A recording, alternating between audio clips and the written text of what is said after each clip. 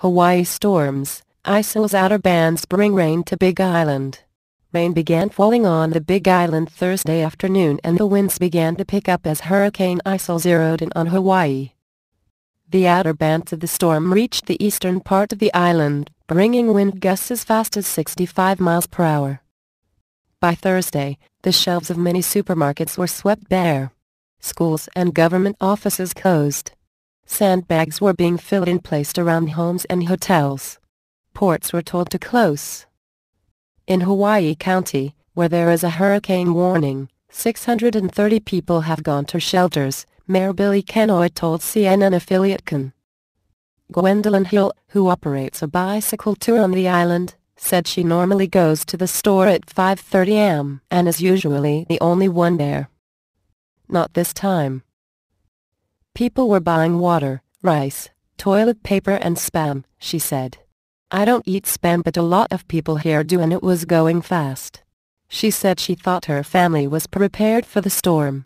They got out the camping gear and had food and water for a week in case the power went out.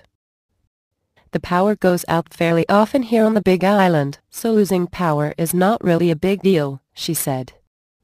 Track the storm. The shoppers were preparing for a potentially devastating 1-2 tropical cyclone plunge, starting with Hurricane Iselle, with winds of 75 miles per hour, and Hurricane Julio, a Category 3 storm packing 115 miles per hour winds, about 900 miles behind it.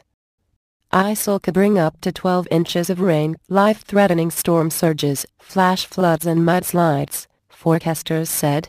They predicted Iselle will weaken somewhat and potentially make landfall late Thursday as a strong tropical storm.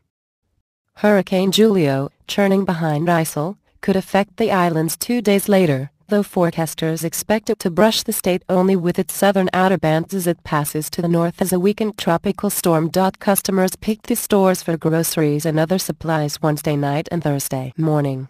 At many locations, such as Kta in Waimea, bottled water was sold out, leaving the seller scrambling to get more. We've been on the phone from very early, Wednesday, morning, working with our vendors trying to get more water. It's been a very difficult situation because everybody is trying to get water, store manager Colin Meyer told CNN affiliate KGMB. Flash flooding on already saturated islands will be a main threat, along with mudslides from some of the mountainous terrain into populated areas. Preparations to protect life and property should be rushed to completion, the Central Pacific Hurricane Center said in its public advisory on Iselle early Thursday.